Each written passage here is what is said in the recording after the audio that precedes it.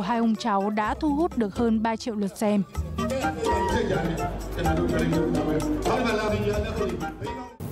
Thưa quý vị và các bạn, tháng 9 là mùa tiệu trường khi mà hàng triệu học sinh trên cả nước bước vào năm học mới. Tuy nhiên thì đây cũng là thời điểm giao mùa, trẻ dễ mắc các bệnh dịch và các bệnh về hô hấp.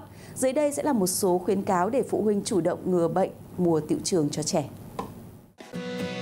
Các bệnh dễ mắc khi trẻ đi học trở lại, COVID-19, sốt xuất huyết, tay chân miệng, các bệnh đường hô hấp như cúm, viêm phổi do phế cầu.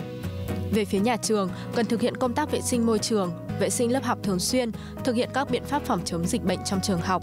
Về phía gia đình, nên tiêm phòng vaccine cho trẻ như vaccine COVID-19, vaccine cúm, dạy trẻ có thói quen rửa tay thường xuyên, che miệng khi ho, hắt hơi, cho trẻ tăng cường vận động, tham gia các hoạt động thể thao kết hợp dinh dưỡng hợp lý. Khi phát hiện trẻ có dấu hiệu nghi ngờ mắc bệnh, cần đưa trẻ đi khám hoặc thông báo ngay cho cơ quan y tế gần nhất. Những thông tin vừa rồi đã kết thúc chương trình của chúng tôi hôm nay. Cảm ơn quý vị và các bạn đã quan tâm theo dõi. Xin kính chào tạm biệt và hẹn gặp lại trong các chương trình tiếp theo.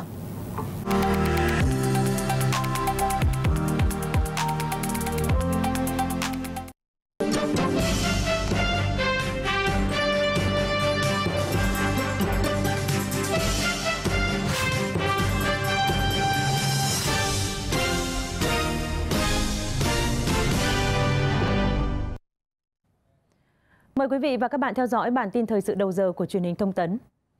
Thưa quý vị, dự án cầu Long Kiểng, huyện Nhà Bè, thành phố Hồ Chí Minh được phê duyệt cách đây hơn 20 năm, nhưng tới trong vài mố trụ do vướng mắt mặt bằng. Sáng nay, cơ quan chức năng thành phố Hồ Chí Minh đã ký bàn giao mặt bằng để tập trung thi công, cố gắng hoàn thành toàn bộ dự án vào cuối năm 2023, góp phần cải thiện tình hình giao thông phía Nam thành phố và kết nối với tỉnh Long An. Dự án cầu Long